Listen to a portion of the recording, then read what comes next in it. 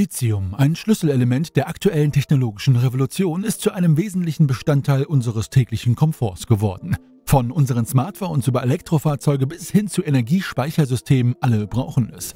Außerdem ist es ein Schlüsselelement der weltweiten Energiewende. Doch die Nachfrage ist so groß, dass es der Welt sehr schnell ausgehen könnte. Einige Automobil- und Technologieunternehmen haben bereits Lieferprobleme und horten ihre Lithiumvorräte wie wahre Schätze. Das japanische Unternehmen Nikon beispielsweise kann die Lieferung all dieser Produkte nicht mehr gewährleisten. Welche Lösungen gibt es? Wir erklären es dir in diesem Video.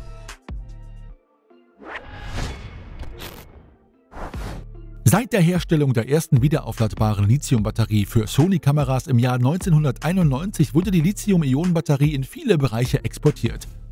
So ist sie aus der Technik, der Elektronik, der Luftfahrt und der Automobilbranche nicht mehr wegzudenken. Aber lassen Sie uns zunächst kurz darauf eingehen, was Lithium eigentlich ist. Dieses chemische Element mit der Ordnungszahl 3 ist ein Alkalimetall und gehört zur ersten Gruppe des Periodensystems der Elemente. Es wird auch als weißes Gold bezeichnet, da es ein zentrales Element im Ablauf der Energiewende in unserer modernen Gesellschaft ist. Tatsächlich ist es das Hauptelement, das von Industrieunternehmen auf der ganzen Welt ausgewählt wird, um die Gegenstände unseres Alltags mit Energie zu versorgen. Überall wird Lithium benötigt, aber die Lieferanten können allmählich nicht mehr mithalten und die Nachfrage wird das Angebot bald um 10.000 Tonnen übersteigen. Lithium wird oft als umweltfreundliche Komponente angepriesen, doch man darf nicht vergessen, dass es vor allem von der chinesischen und amerikanischen Industrie verwendet wird. Dennoch befinden sich 70 bis 80 Prozent der globalen Ressourcen dieses Materials in Lateinamerika, insbesondere in Bolivien, Argentinien und Chile. Es hat also einen langen Weg hinter sich, bevor es verwendet wird. Außerdem verbraucht seine Gewinnung nicht nur viel Wasser, sondern ist auch gefährlich. Denn wenn sie nicht richtig kontrolliert wird, kann sie Gefahren für die lokale Biodiversität mit sich bringen. Da Erdöl bereits übermäßig ausgebeutet wird, die technologische Entwicklung voranschreitet und die globale Erwärmung uns dazu zwingt, Alternativen zum Erdöl zu finden, könnte es in den kommenden Jahren noch stärker nachgefragt werden. In der Industrie und in der wissenschaftlichen Gemeinschaft werden daher Bedenken laut. Denn die sehr hohe Nachfrage nach Lithium explodiert so sehr, dass das Metall bereits 2025 in eine weltweite Knappheit geraten könnte. Dies hat zahlreiche Auswirkungen, insbesondere auf Elektroautos. Die Lieferzeiten werden dadurch verlängert, die Autohersteller haben mit Lieferproblemen zu kämpfen, die Produktion verlangsamt sich, die Unternehmen beginnen Vorräte anzulegen und der Preis für eine Tonne Lithium steigt drastisch an. Doch welche Lösungen gibt es? In einem ersten Schritt muss das Lithium-Recycling verbessert werden. Im Jahr 2021 wurden beispielsweise nur 5% der Lithiumbatterien recycelt. Dadurch wird die Knappheit zwar nicht verschwinden, aber der Termin kann hinausgeschoben werden. Darüber hinaus ist das Recycling von Lithium von entscheidender Bedeutung, da es umweltschädlich sein kann, wenn es nach seiner Verwendung nicht zurückgewonnen und ordnungsgemäß verarbeitet wird. Dies würde auch dazu beitragen, die Verteilung der Rohstoffe auf die verschiedenen Regionen der Welt wieder ins Gleichgewicht zu bringen. Dennoch ist das Recycling von Altgeräten aus verschiedenen Gründen noch lange nicht die Norm. Beispielsweise ist die Sammelquote für lithiumhaltige Batterien noch gering. Sie beträgt lediglich 10% der vorhandenen Mengen. Ein weiterer Grund sind die niedrigen und unbeständigen Preise für das Metall, während das Recycling teuer sein kann, sogar teurer als der Preis der Primärproduktion. Warum sind die Kosten so hoch? Weil das Recycling eine echte technische Herausforderung darstellt, denn Lithiumbatterien bestehen oft aus vielen anderen Materialien. Jede Zelle eines Lithium-Ionen-Akkus besteht aus vier Zellen, die aus unterschiedlichen Materialien bestehen können. Beispielsweise können neben Lithium für die positive Elektrode Kobalt, Mangan, Eisen, aber auch Nickel und Aluminium enthalten sein. Auf der Seite der negativen Elektrode können neben Lithium auch Graphit, Zinn, aber auch Titan vorkommen. Diese liegen in Form von chemischen Verbindungen vor, die kleine Teile auf sehr engem Raum bilden, weshalb es schwierig ist, sie zurückzugewinnen. Darüber hinaus unterscheidet sich die Struktur von Batterien und Akkus je nach Hersteller, Gerät und Modell erheblich. Daher ist es schwierig, einen einheitlichen und automatisierten Recyclingprozess zu haben. In Frankreich haben sich beispielsweise einige Unternehmen auf die Rückgewinnung von Lithium-Ionen-Batterien spezialisiert, um das Lithium zu extrahieren. Ein Beispiel dafür ist die Firma Eurodieuse, eine Tochtergesellschaft von Sarp Industrie, die zur Veolia-Gruppe gehört. Um Lithium zu gewinnen, verwendet sie einen hydrometallurgischen Prozess. Um Lithium zurückzugewinnen, wird das Metall in eine chemische Lösung gegeben, nachdem es zuvor zerkleinert wurde. Einige Wissenschaftler versuchen auch, kostengünstigere Recyclingverfahren zu entwickeln. Eine andere Möglichkeit, um Lithiummangel zu verhindern, ist das Metall durch andere häufiger vorkommende Elemente zu ersetzen. Das konkreteste Beispiel sind Natriumbatterien. In der Tat gibt es in der Erdkruste mindestens 500 Mal mehr Natrium als Lithium. Da es billiger und dennoch ziemlich leistungsfähig ist, findet diese Revolution in China statt. Genauer gesagt war es der chinesische Batteriegigant Kattel, der weltweit größte Batteriehersteller, der bekannt gab, dass seine Produktionslinie bereit sei.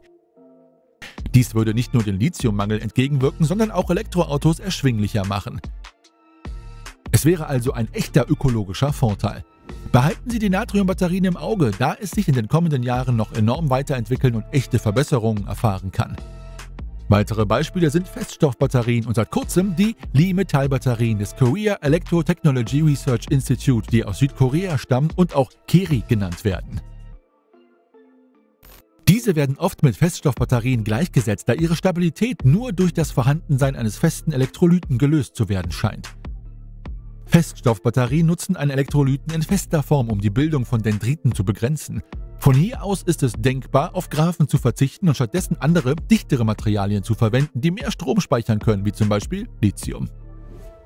Dadurch kann fast doppelt so viel Strom gespeichert werden wie in einer Lithium-Ionen-Batterie und sie altert weniger schnell, da dank des Festelektrolyts weniger Dendriten entstehen. Viele Unternehmen beschäftigen sich mit diesem Thema und die ersten Batterien könnten bereits 2024 verkauft werden. Lichtfeste Li-Metall-Batterien wurden hingegen noch nicht in Betracht gezogen. Keri ändert dies jedoch, da es gelungen ist, Li-Metall-Batterien mit flüssigem Elektrolyten zu betreiben, indem es die Anode mit einer Folie aus einer Mischung aus Kohlenstoff und Gold-Nanopartikeln bedeckt. Hier verhindert der Kohlenstoff die Bildung von Dendriten, während das Gold für die richtige elektrische Leitfähigkeit sorgt. Das Ergebnis ist eine Li-Metallbatterie, die viel schneller hergestellt werden könnte als Feststoffbatterien. Dies könnte also die Kapazität von Batterien schnell verdoppeln und gleichzeitig ihre Lebensdauer verlängern, wobei auf Graphen verzichtet werden könnte. Es bleibt abzuwarten, ob diese Lösung tatsächlich massenhaft eingesetzt werden kann und ob die Kosten im Vergleich zu Feststoffbatterien wettbewerbsfähig sein werden. Die Lithiumknappheit ist jedoch nicht nur darauf zurückzuführen, dass dieses Metall auf unserer Erde kaum vorkommt, sondern auch auf seine falsche Verwendung und Verteilung. Dies geht so weit, dass es zu Spannungen insbesondere mit der Europäischen Union und USA auf der einen und China auf der anderen Seite gekommen ist. Die Weltmärkte bestehen heute hauptsächlich aus billigen chinesischen Elektroautos.